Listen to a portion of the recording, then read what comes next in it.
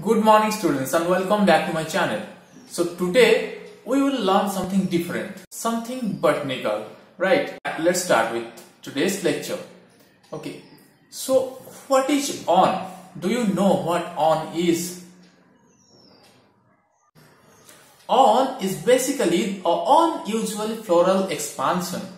This is extension from lemma. Do you know lemma palea? That is the outer covering of the seed that forms from floral parts, right? So that is the extension of lemma. Awn is the extension of lemma and in mostly it is found in cereals. In some other species it is found like Geraniaceae. It's main, mainly it is found in Poaceae. So in some uh, crops that is also absent in Poaceae right, like rice, maize, sorghum awn is absent. But in barley and wheat it is prominent. Then what is the function of awn? Basically in barley it, it contributes to 12 about 10 to 12 percent to photosynthesis right and in some species that is also contributed to seed dispersal uh, using carpel projection technique then uh, somehow it protect seeds from insects and birds also. Because it is projectile structure no? Outgrowth from seed right? So this is about awn. Then we will learn about ligule. What is ligule? Ligule is mainly found in Poaceae and Asteraceae in Poaceae it is the tongue-like thin papery outgrowth junction of leaf and leaf sheath. And in Asteraceae it is the strap-shaped extension of corolla, such as that of ray floret in sunflower. Right. So what is auricle? Auricle is the small ear-like or claw-like projection from the base of leaf or petals. So you can see here awn ligule and auricle. Awn is the projection from lemma. Then ligule is the papery-like structure, tongue-like structure, thin papery, papery texture that is tongue-like structure. Then auricle is a claw-like structure. Right? So why I am telling all this to you like awn ligule, auricle? What you people will do with that? This is somehow you can identify different cereals and cereals from grasses in the initial or vegetative stage.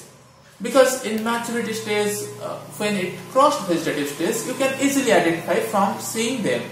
Like between oat uh, wheat then phalaris minor you can easily distinguish them in latter stage. But in initial stage there seems to be very different so using uh, so like identifying the auricle and ligule, you can easily identify them.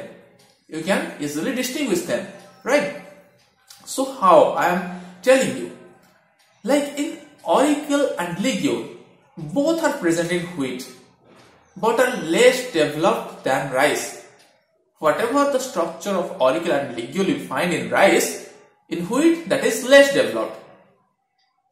If we say in wheat and barley, the auricle is blunt and hairy in case of wheat. But it, in barley, the auricle is pointed, hairless and larger and ligule is smaller than wheat. Right? So if we say in oat, the auricle is totally absent and ligule is medium length. So you can easily find differentiate oat from wheat and barley because in wheat and barley auricle is present but in oat auricle is absent. And in case of Phalaris minor, there is no auricle but the ligule is three times larger than wheat. In case of wheat, it is medium or certain kind of thing, the ligule.